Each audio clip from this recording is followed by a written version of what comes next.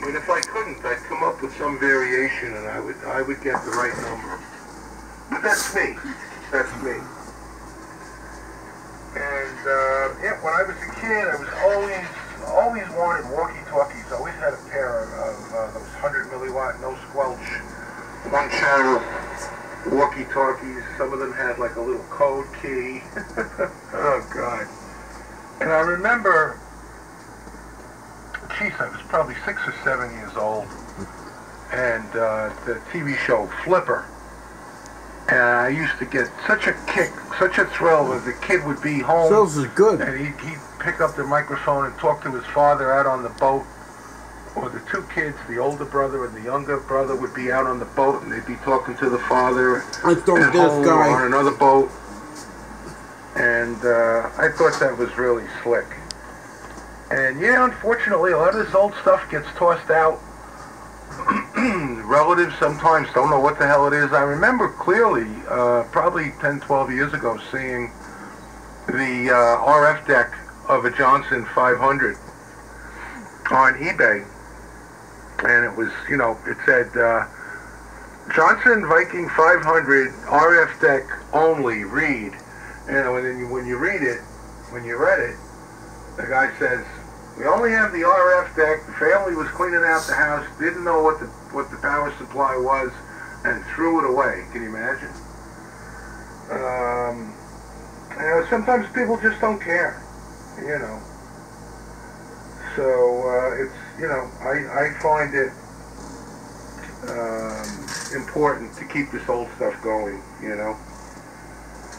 And um, if I ever designed the perfect radio bench again, it would have like a second um, desktop Aluminum, rack. that would be like you know three or four feet, three three I feet deep rebuilt anyway, them. with good to solid legs, so 28 that I could just slide out whatever All and those. open it up right there. And not have to, uh, as we would say in Brooklyn years ago, this right here? it over.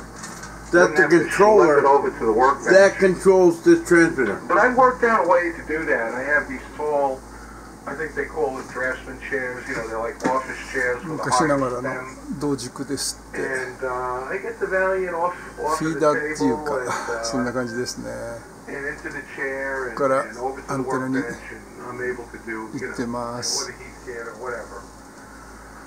But, um, one of the things that's amazing to me, and I, I talk to guys all the time like like this, uh, they're having a problem. They're, they're looking for a problem. Oh, because the audio's distorted. I'm, I'm going crazy. Ship trying this find to the Japan. problem.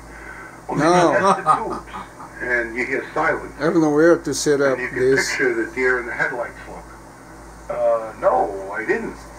Well, maybe も start う日 with 本に that. 持ってけとか言って That's ま one すよ good thing about these ま old だ tube 何台かある radios. し I とか would 言って say Um, 60, 70% of the time, my experience with the radios that I've owned and in the time that I've owned them, I would say about 70% of the time, it was a bad tube that was causing whatever the problem was. So that's like the first thing. If you're trying to find a problem, I had the So tuning up. audio on my Valiant a couple of years, I don't know, a couple of four or five years ago. and I tested the, the modulator tubes, 6146s, and they were good. And I said, wait a second.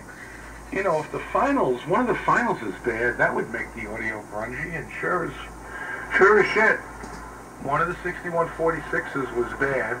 And uh, I changed that puppy out and re-neutralized it, and the audio was fine.